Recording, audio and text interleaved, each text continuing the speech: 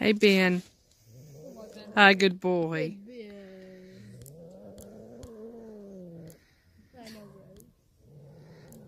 Are you a good boy, Ben?